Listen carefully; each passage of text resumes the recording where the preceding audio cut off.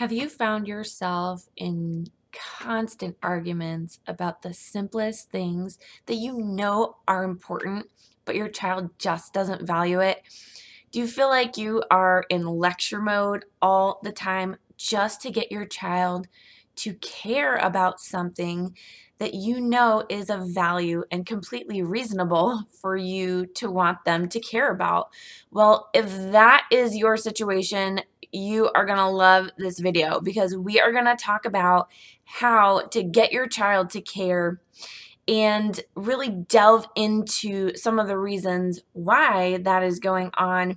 So you know how to best put together your how to get them to actually care about something because in this how to series we are focusing on the fact that the first step to how to is to always understand the why behind the behavior. So if you have not been following this how-to series with Fly on the Wall Counseling, uh, I will provide some links up here for you to check out those other videos. I have done one already on listening as well as focusing.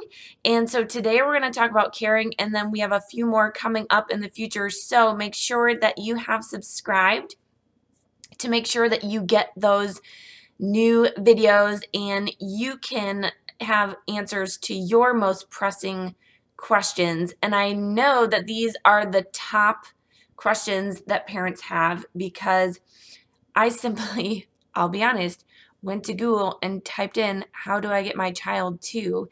And these were the top six responses on there. So I wanted to do some videos for you parents to equip you to be able to address the most challenging, frustrating things that you're dealing with with your child.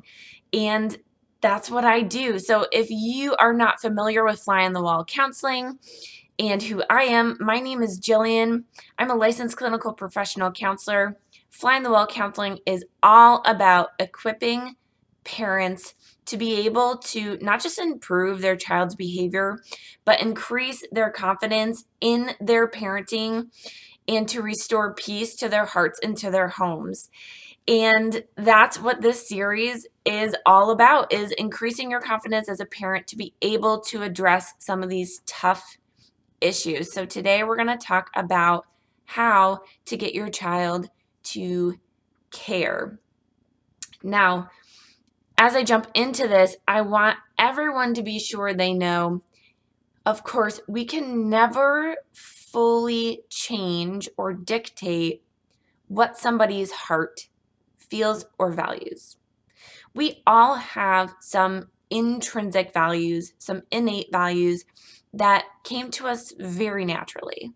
So there are some people who really value fashion and makeup. Uh, I am not one of those people, if you have noticed.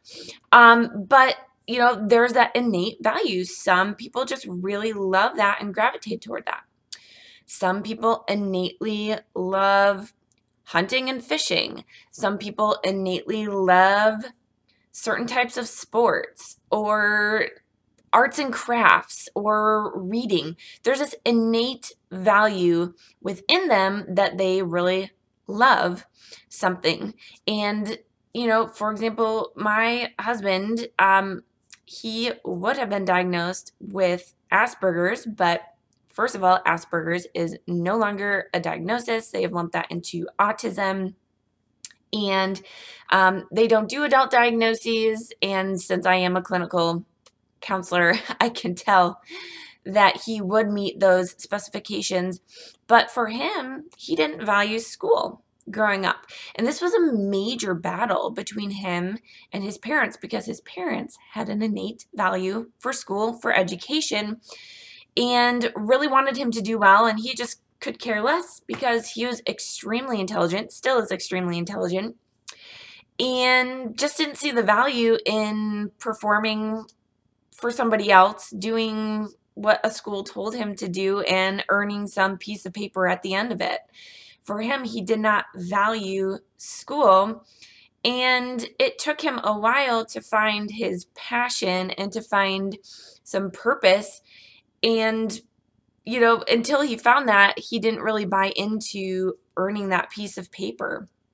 And he still really doesn't value the traditional education because he knew that he was equipping himself in a way that would still make him valuable to society. Um, he was confident in his intelligence and his ability to perform. So, you know, that's a great example of how some people just don't really care. And, you know, it he actually almost got kicked out of college and turned things around and now has an incredibly successful career with the FDA and is an amazing microbiologist. But he didn't care about school. And I bring up that example because I know there are a lot of people out there who wish their kids would care about school.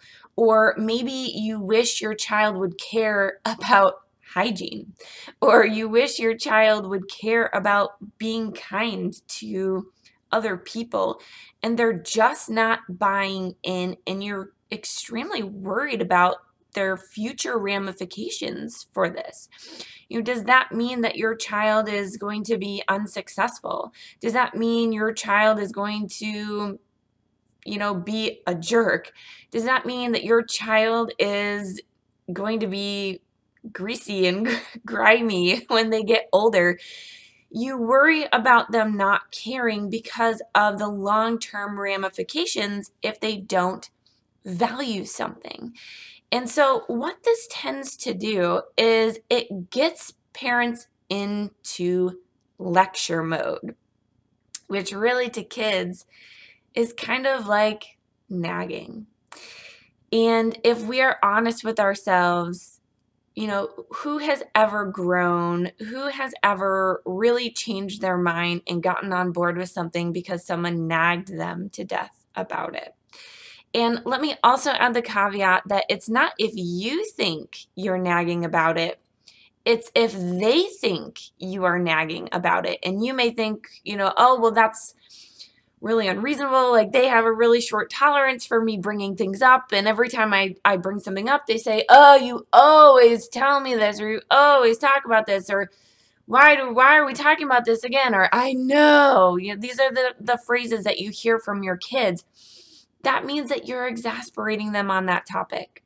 That means that they've reached their limit and you're to the point where they have categorized it as nagging and their reality matters.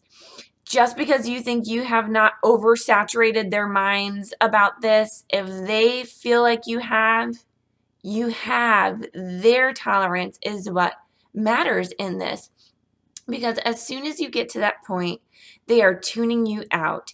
And if you have a child who is strong willed, who is spirited, or maybe even have a diagnosis of ODD, you know, they are going to actually care even less because you care so much. When you continue to show how much you care and how much this is important to you, and you actually even might get to the point where you're starting to express some of your fear and that you are afraid that you have a lack of control over this because like we said before you can't change a child's heart. You cannot dictate how they feel or what they value. And when children get a sense of, hey, I have some control in this, or I can have power over mom's or dad's emotions by not caring. That's really enticing for them, especially if they're one of those strong willed, spirited, or children with ODD you know, they love having power and control over someone's emotions. That's a lot of power and control for them to have. And so when you get into lecture mode, when you show how much you care and you bring it up over and over and over again, this is an opportunity for them to dig their heels in the ground and say, too bad. And they actually get some pleasure from not caring, and it actually can motivate them to continue to not care or value it. So you may be caring too much. You can't care about something more than your child and have them all of a sudden turn around, you know, and just care about it all of a sudden. Um, there are plenty of people that I interact with on a daily basis that I wish they would care more and value more the services that I could provide to them and bring them relief to their situation in their home, but they care more about money or they care more about spending on something else um, or whatever it may be. You know, we can't care more for somebody and get them to make that shift on their own. We have to let them know what the value is. And sometimes a lecture is not the way, most of the time, a lecture is not the way to do that. We need to learn how to speak people's currency. You need to learn how to speak your child's currency. What is valuable to them? What do they already care about? You can use this to your advantage. You can tie that into those things that you know are extremely valuable that they're just not valuing yet because it's not an innate value that they have. And perhaps even the things you're asking them to do or asking them to care about, you didn't care about when you were a child. Or this was something that you had to cultivate care about. So, for example, chores. Your child is probably not going to care about chores. And you know what? You probably didn't care about the dishes, or you didn't care about vacuuming or dusting or having a lemony, fresh smelling kitchen until maybe you had your own. Um, or you realize that, oh, wow, if I let things go to a certain point, that's not fun, or that degrades the value of that, or I pay a price for that later. Your child probably hasn't cultivated that value yet or cared about it yet because they haven't had that life experience to get them to that point. So you can start to help them to care by speaking in their currency. What do they already care about? Bringing that into the thing that you know is valuable and helping them to cultivate that care over time. Um, it's not going to be a night and day difference. They may care a teensy bit more tomorrow and a teensy bit more a week from tomorrow. And over time, that will grow and their care will be cultivated. Um, but we can't expect change overnight. And you have to get on their level. You have to use their logic, their wisdom. And in the focus video, um, I talked a lot about child wisdom versus adult wisdom. So you may want to check that out to get more info on that.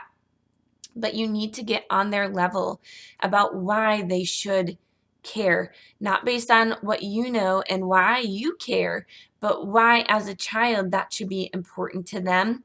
Find out what brings up their interest and relate it on their level.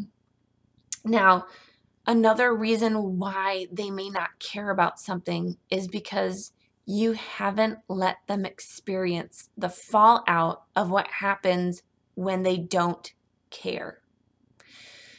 So, you know, some of these things may be harder. So maybe they're supposed to feed and take care of the dog. And you really don't want to get to the point where if they don't take care of the dog, you know, the dog is suffering. That's maybe not an okay thing for for you to draw out and not let them care about. But you know, what about not cleaning their room? Could you allow them to get to that point where they experience the fallout from not cleaning their room to start to care about their room being clean? What about getting their homework done? Will you allow them to get to the point where they fail or fall to experience the fallout and the pain of not passing or not doing well, right? Remember, I said um, for my husband's example, he had to fail. He had to get to the point of almost getting kicked out to start to care. Sometimes people have to fall and they have to fall hard to learn. Some of you have kids who are very strong willed, who have to learn the hard way in order for them to start to cultivate caring. So it may be that you need to enter into that scary realm where you're letting them fail, where you're letting them fall. And unfortunately, that may mean that you have to experience some disadvantages. You have to also experience some hardship, some frustrating things along with them, but that's part of the fallout too for them to experience, for them to know that them not caring impacts the people they care about too. That can be extremely powerful to them for them to see that and to experience that. So sometimes we need to experience something difficult. They need to experience something difficult for them to start to cultivate care. And that brings me to the last thing I would like to bring up, which is don't focus on the thing, focus on your relationship. You battling back and forth with them to care about something is not going to change their mind about caring about that thing. They are more likely to change their behavior, to change their heart when they see how important something is to you and they feel how much they love and care about you. So if you're struggling about getting them to care about something, don't care or don't focus on that thing Start to focus on your relationship with them. Build into that. Cut out the lectures, cut out the nagging, and bring in the relationship building.